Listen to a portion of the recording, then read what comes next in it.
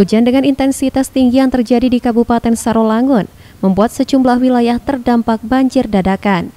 Seperti di Kecamatan Sarolangun, tercatat ada lima kelurahan yang terdampak banjir dadakan akibat hujan lebat, yaitu Kelurahan Gunung Kembang, Sarolangun Kembang, Pasar, Aur Gading, dan Kelurahan Dusun. Menurut Camat Sarolangun dari kelima kelurahan tersebut, Kelurahan Gunung Kembang merupakan titik terparah karena genangan banjir merendam puluhan rumah di 3 RT.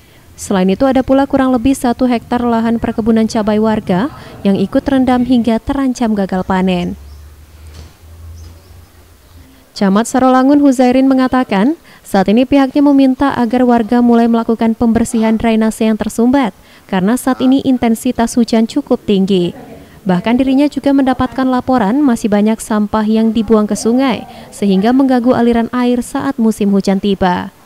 Bawaan kami terhadap masyarakat memang sudah sering kami sampaikan, terutama yang di dalam kota, untuk kebersihan lingkungan, untuk kebersihan got, supaya got itu supaya tidak mapat sampah-sampah yang ada dalam itu.